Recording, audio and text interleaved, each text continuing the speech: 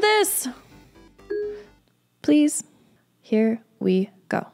Today, I'm going to show you how to build your very own custom chatbot with its very own custom personality. Mine is going to be an accountability buddy to help me stay on my piano practice goals. And I think it's going to have the personality of either Ted Lasso or Arnold Schwarzenegger. We'll just have to decide when we get there. But essentially, I'm going to teach you how to use AI to build AI. You are going to learn about front ends, back ends, and APIs, as well as some more advanced vibe coding techniques and practices. It's gonna be it's gonna be fun.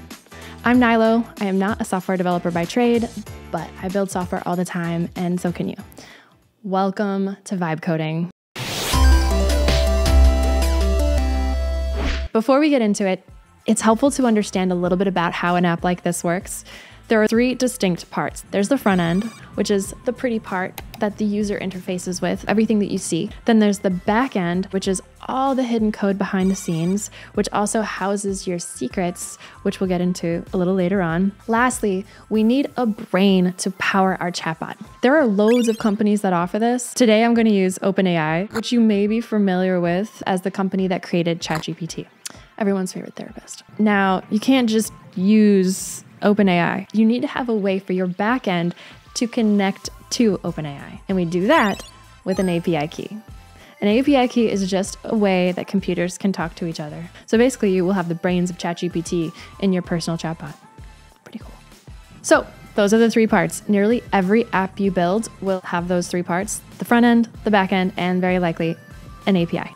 Now, with that out of the way, let's build it open up your platform of choice. I'm still biased towards Cursor, still my favorite. But Replit, Windsurf, whatever you like, open it up. If you remember from last time, step one, make a folder. I already have mine here called Chatbot because I'm prepared. Open that project folder. You will know that you're in the right place if you can see your folder name over here. Yours will be empty, but mine has a little bit of lesson prep already in there. Here you are in a blank, empty code base. To begin with, we're going to create a file called plan, plan.md. MD just stands for Markdown, which is a fancy way of saying a text document that you can add formatting to. So plan.md. Boom. This file will hold every detail and feature of what you want to create. The better your plan, the better your results. Having a clear, detailed plan makes it easier for your AI agent to get things right the first time. This way, you can spend a lot of energy up front instead of fixing things that don't work later. Your plan is going to look different for sure, but you want to hit a couple key things all the details and features, any information you can about how you want that interaction to play out, and then also any kind of cues about the way you want the architecture. So, in this case, simple, easy, browser based. That's the easiest type of software to build. Are you ready? We're gonna build a plan! I believe in belief. For starters, build a chatbot with a personality like Ted Lasso, meaning quirky anecdotes, dad jokes, and overall optimism. The purpose of this chatbot will be to help me stay accountable to my piano practice goals. When the chat window opens, I would like it to start with asking me about the progress to my goals. I'm only saying that because otherwise every chatbot starts with, hey, how you doing? I, I don't want to have the small talk. Whatever your application is, customize it accordingly. So, after I provide an update on my progress, I would like it to offer a tip and a Ted Lasso esque anecdote. Perfect. I believe and believe. I'm not going to stop with that. Now I include how I want it built. Specifically, in this case, I want it to be easy. I want it to be easy. I'll say something like keep it browser based and simple, no heavy frameworks or databases. Then also power it with OpenAI using an API key stored safely in the backend. Ironically, you do want to specify that because if you don't, it may want to place your API key on the front end where it might request it every time you open up your chatbot. I don't know from experience or anything. Just take my word for it. So now we have our plan document. We're ready to hand this off to our agent and see how it does. This is a little more of a complicated ask. I imagine we might run into some hiccups. And another note if you're using Cursor, you may find that this is set to auto. I like to just give myself a little extra leverage with a model that's a little bit more of a pro model for the very first prompt when there's no code in existence yet. I'll choose GPT-5. It's a very powerful model. It's a thinking model. Yeah, I'm gonna save this. Hand this off to my agent and say, build this, please. Perfect. Little courtesy never hurt. Here we. And now it gets to work. Okay, so while that works, I'll show you how to get an OpenAI key in case you don't already have one. Oh, look at that. I conveniently have it already open to exactly the web address you will need. Okay, so type in platform.openai.com. Once here, you may need to log in. I'm already logged in. Then go to your dashboard, go to API keys in the left hand column, and create a new secret key.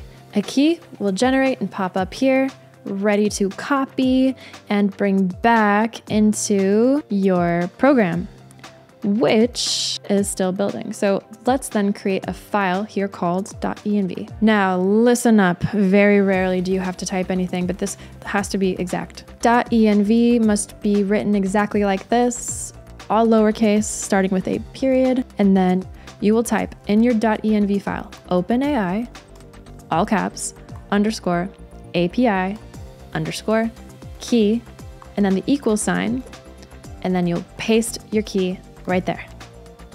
If you get that wrong, it won't work. It should look just like this right there.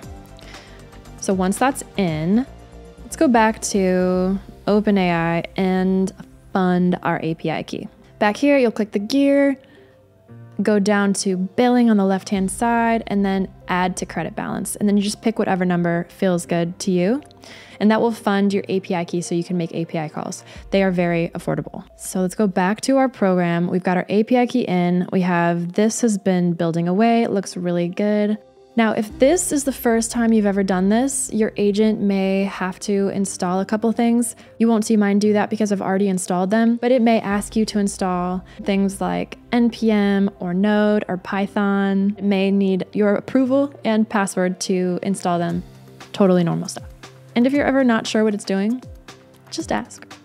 It is not only there to help you build a beautiful code base, but it can also educate you as you go as to what it's doing. Very smart. Let's see where we're at. Looks like it's ready to roll. It says implemented backend. Our agent has completed the initial build, and now it's given us instructions on what to do next. How to run, create an env file. We've already done that. And then you start by typing npm start. So I'm going to copy that, drop it into our terminal window. If you don't have a terminal window, just up here, terminal, new window, and then enter and we should be able to see our site live here. Coach Lasso, hey, great, it's already off to a good start. Wow, howdy there, my piano playing friend. How's your journey to musical greatness going? Have you tickled those ivories? Whoa, wow, I love it. Do you feel that good dad energy right there? I love that good dad energy.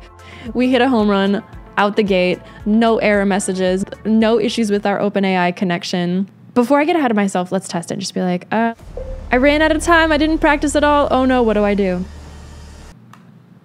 See how Ted Lasso handles. Hey there, no need to fret.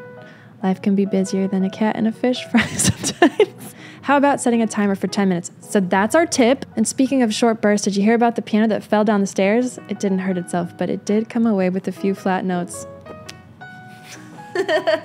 I love my bot. I love it.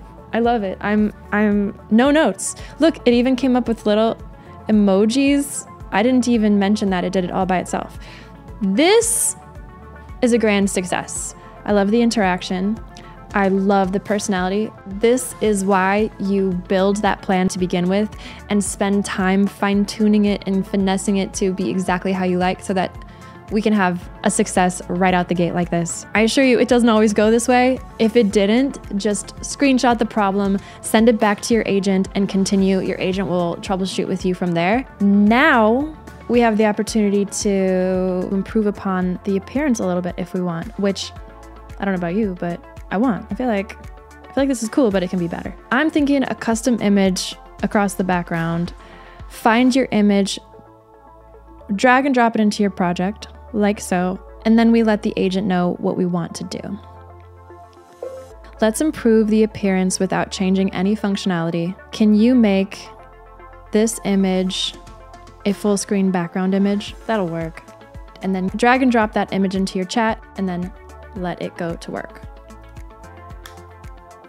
Let's see how it did. Open back up. Oh, cool. Voila! We have a new custom background. You can customize this endlessly, and if you want to push your limits, you can turn this chatbot into an agent down the line. Maybe I'll have to do a tutorial on that. We did it. We did it. We really, really did it. Not bad. Okay, so let's recap. Today, you learned what a front end, a back end, and an API are. You learned how to set up an API key in a .env file, short for environment. You learned how to fund it with OpenAI, and you learned a fun workflow that I think is really powerful, which is starting with a plan document, perfect that plan, and then hand that plan off to your agent to build autonomously while you kick it. And you did it all without writing a single line of code. That's all for today. Let us know what you built in the comment section, what you liked, what you didn't like, if you ran into any hiccups, and what you want to learn next. Thank you so much for joining us. I hope you learned something. Take care. Bye. Bye. Bye.